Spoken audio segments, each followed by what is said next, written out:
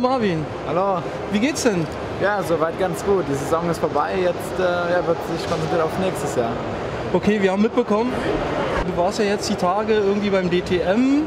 Probefahrten oder so? Irgendwie kannst du dazu noch mehr erzählen? Genau, ich war vergangene Woche in Sevilla, da war ich von Audi eingeladen, drei Testtage mit dem DTM-Fahrzeug zu machen und das war auf alle Fälle was ganz Besonderes für mich, schon mal so in dem Motorsport ein bisschen Luft zu schnuppern und ja, es hat mir sehr viel Spaß gemacht.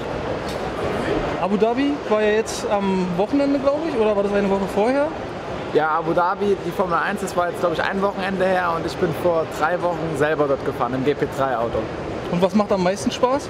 Also ich muss sagen, ich habe mich wirklich sehr für das GP3-Auto begeistert. Es hat enorm viel Spaß gemacht. 400 PS auf wirklich kleines Gewicht, das ist schon ja, verdammt schnell.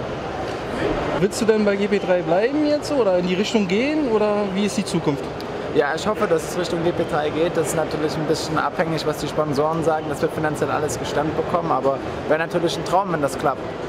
Gibt es denn noch für unsere Zuschauer irgendwas zu verraten, was wir als Erster wissen sollten?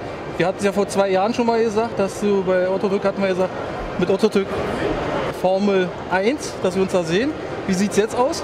Ja, auf alle Fälle. Also Geheimnisse gibt es momentan noch nichts, die ich jetzt lüften könnte. Ähm, wir schauen mal, heute Abend ist eine schöne Gala. Da wird es wahrscheinlich von der Speed Academy bekannt gegeben, wie ich dieses Jahr abgeschnitten habe. Ja, und sobald es irgendwas zu erzählen gibt, dann wisst ihr Bescheid. Okay, wir danken dir erstmal. Ja? Dankeschön. Weitere Berichte über mich könnt ihr bei Autotalk verfolgen.